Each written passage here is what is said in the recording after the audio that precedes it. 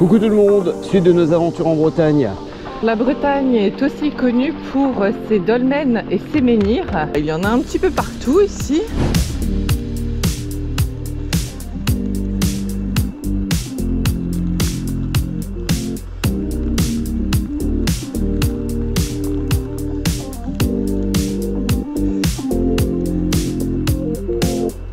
Le site le plus connu, euh, c'est celui de Carnac, évidemment, qui se trouve à une trentaine de kilomètres de Bels, un peu plus au sud du département.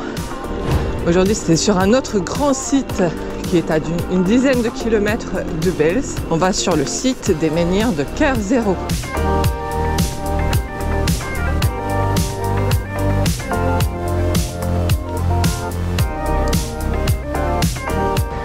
quand même une particularité du pays, un distributeur de banque juste au niveau d'une chapelle. Bon, c'est un petit chemin de VTT qu'on prend là. J'espère que ça va aller parce qu'il y en a beaucoup, beaucoup ici qui sont encore inondés. Ça limite euh, du coup les possibilités pour euh, rouler. Ça a l'air d'aller. Tant mieux. C'est vrai que ça aurait été un regret du séjour de ne pas avoir pu euh, parcourir plus de chemins de VTT. Mais bon, voilà, hein, c'est la contrepartie euh, de rouler l'hiver. On arrive dans le parc de Keravéon et il y a un château qu'on va aller voir.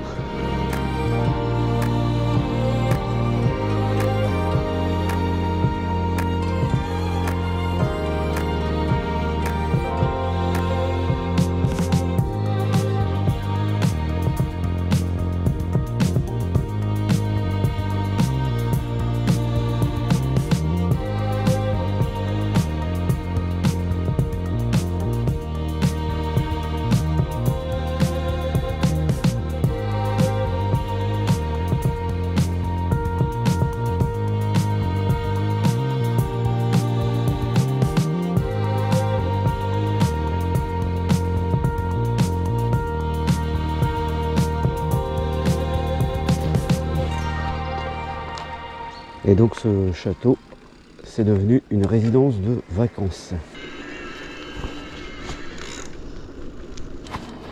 À mon avis, dans les écuries, ils ont dû faire des des, ah ouais, des, des gîtes.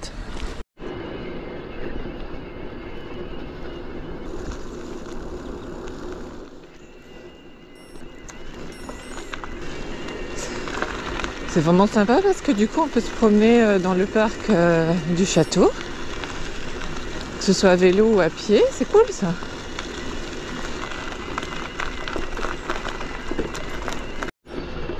On profite d'avoir euh, quelques chemins praticables.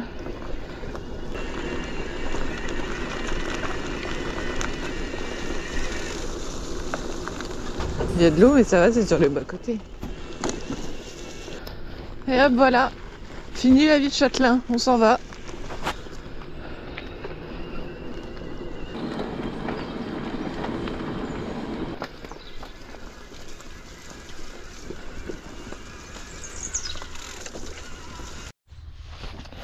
Voilà, on arrive au premier menhir de Kerzero.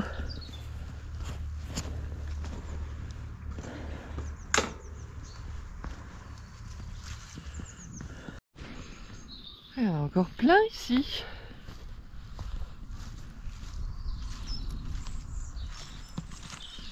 Dans tous les coins.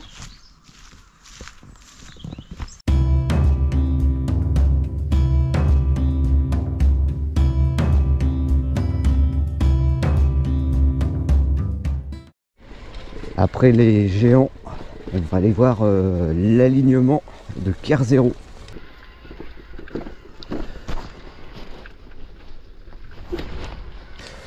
Ah, vous voulez des mégalithes? Vous allez en avoir. Il y en a plein en Bretagne. Regardez. Ah, je vous avais pas menti. hein. Waouh, waouh, waouh. C'est impressionnant. Impressionnant. Il y en a plein.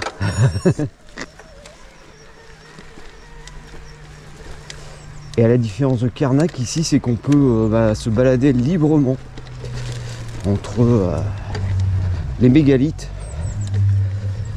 Car euh, si vous allez sur Karnak, euh, bah, maintenant c'est grillagé.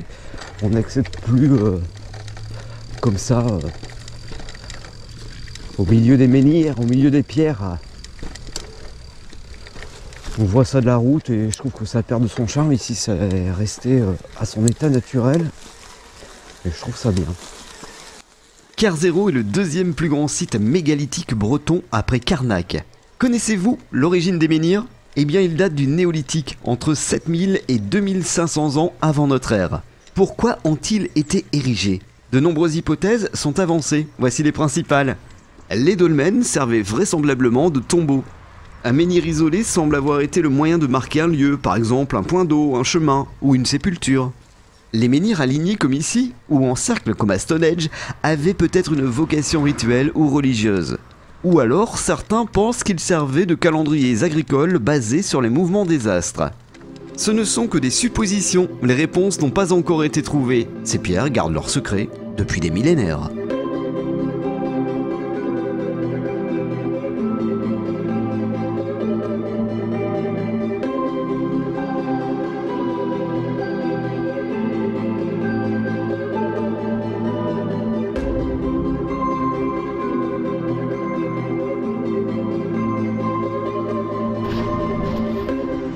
Impressionnant. Ah ouais, par contre, oui, on est sur. euh, quand on passe, au moins les voitures, quand elles passent, elles peuvent admirer le site. on se rend pas forcément compte de la hauteur des pierres, mais euh, d'une manière générale, je dirais qu'elles font euh, en moyenne 2 mètres de haut. regarde la hauteur. Et voilà. Eh. Voilà. Euh, ouais, mais par contre, les gens savent pas quelle, quelle hauteur tu fais, toi. 1 mètre, 1 mètre 95 euros de peau. Ok. Il fait à peine 1m70, donc ça donne une idée euh, de la hauteur.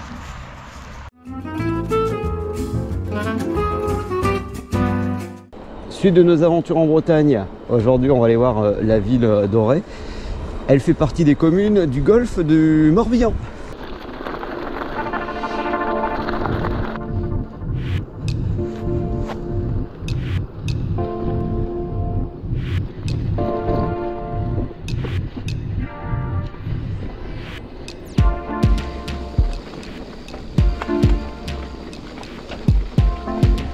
On va faire un parcours d'une bonne cinquantaine de kilomètres aller-retour. Là on est sur euh, la véloroute 45 avec euh, bah, un petit passage bien sympathique euh, au milieu des bois.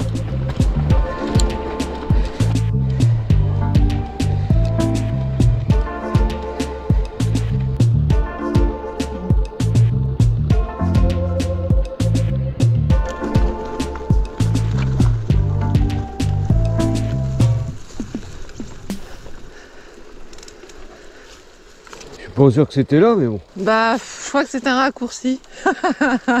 Allez, on aurait pu passer de l'autre côté. ouais. Bon, de toute façon, il y, a- il y a quand même de la bouillasse à passer.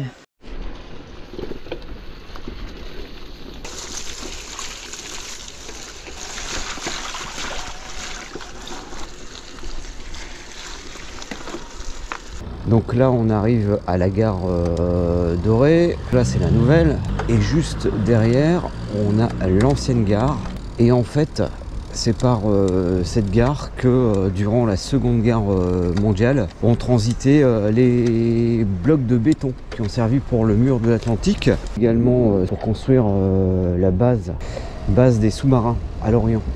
Bah allez, pour la pause déj, on va essayer d'aller manger au chaud dans la gare. On va essayer de faire fissa. Allez, on va manger vite fait, enfin dans la gare, avec euh, un petit claco, c'est un petit euh, casal au camembert. un petit, euh, voilà, petit encas au camembert, c'est bien ça. Ils vont pester la gare. Voilà. Allez, bon appétit euh, ou pas. Aujourd'hui, c'est royal. On a un café avec une madeleine en dessert. Un café bien chaud, ça réchauffe. Oui, Ça fait du bien et ça réchauffe le cœur. aussi. Voilà, on a bien mangé. On va reprendre le parcours, aller visiter le centre doré.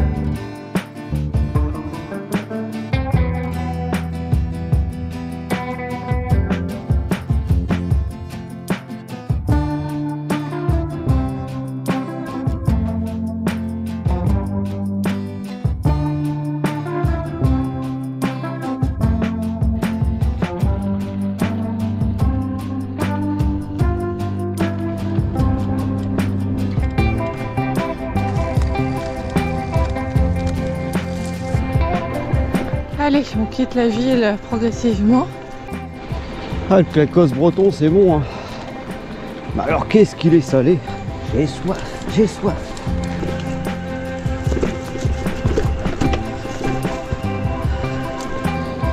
Oh, c'est sympa ces petits chemins VTT comme ça euh, aux alentours de la ville.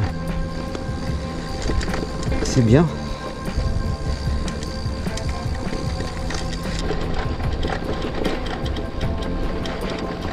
Là, on est euh, tranquillement en train de sortir euh, de la ville dorée par les chemins VTT.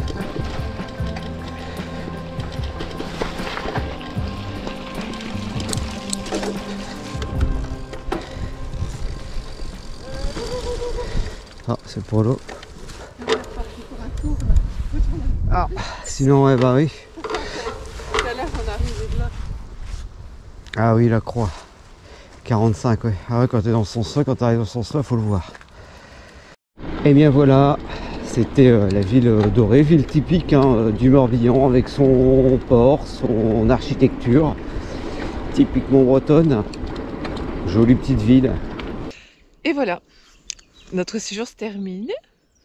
Oui, séjour euh, agréable. On a vu des jolis paysages, des menhirs. Euh, on en a profité aussi hors saison. C'est peut-être justement plus reposant. Voilà, et en tout cas c'est une belle région pour les vététistes et aussi les marcheurs parce que c'est vrai qu'on a vu énormément de, de chemins de randonnée dédiés à la marche. Et, euh, et euh, pour les vélos, il y a quand même des chemins de VTT et aussi beaucoup de pistes cyclables, donc euh, du coup il y a de quoi faire. Il y a de quoi faire et en plus on peut faire pas mal de marches le long du littoral. C'est quand même Mm. très très plaisant. C'est super. Rien que pour ça, c'est super. Et voilà, on espère en tout cas que ça vous a plu. N'oubliez pas de vous abonner, de laisser vos commentaires, ça fait toujours plaisir. Et on se dit à très bientôt sur le vélo pour une nouvelle aventure. Ciao ciao ciao ciao. ciao, ciao. you